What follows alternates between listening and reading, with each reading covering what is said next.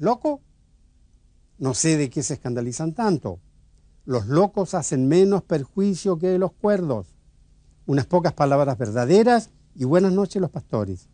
En cambio, los sensatos nos amargan la vida con sus guerras, con sus idilios, con sus ecuaciones.